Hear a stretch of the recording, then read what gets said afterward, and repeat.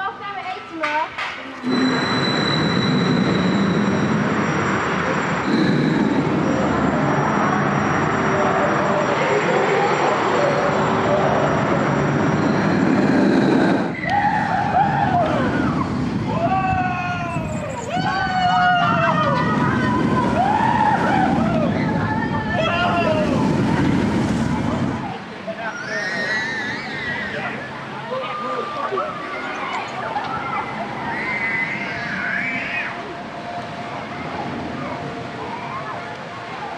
Ooh.